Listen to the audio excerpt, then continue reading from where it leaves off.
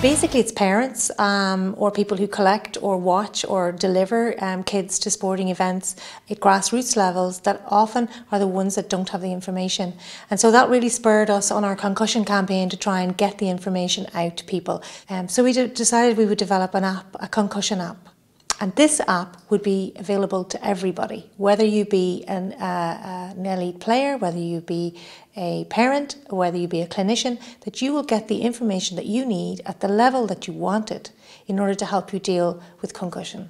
I suppose first of all, just going through um, a concussion test. So, say for example, if there was um, a head injury to someone on the sideline, this is kind of just the quick check you can go through asking different questions. So, what venue are you at? You might get one right, the next few right or wrong.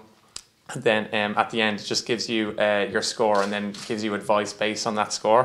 One of the biggest worries is when you're dealing with someone, you know, on the sideline, it's kind of like, how do I know it's concussion? Because as someone said, you can't see it like a, like a broken leg or a broken hand.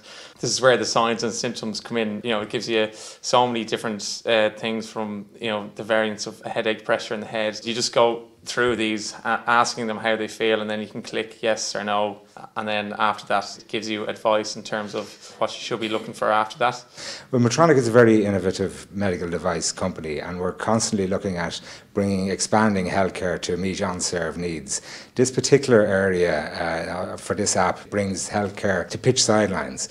It helps uh, amateur medical people on pitches, particularly at junior level and underage levels uh, give a much better diagnosis and make much better decisions in relation to the serious problem of concussion playing games. 95% of concussions occur in recreational sports, not in the elite sports where they have doctors in the background. So they're the people we need to get the knowledge out to, to them, to their parents, to their coaches. So I think that's where the app is very, very important. So if there's sign of a, patient, of a player that's not moving, uh, or a player having a seizure, or a player who gets up and stumbles after taking a blow to the head.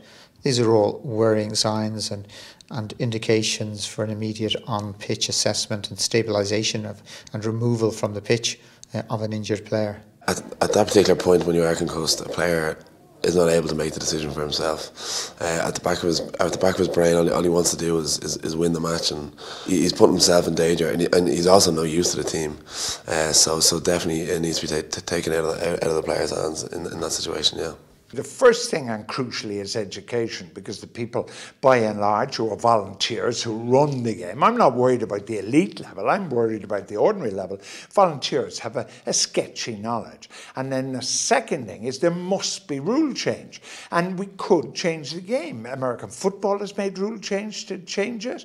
Uh, other sports are doing it. There's no reason why we couldn't do it for rugby and we're not. It's madness.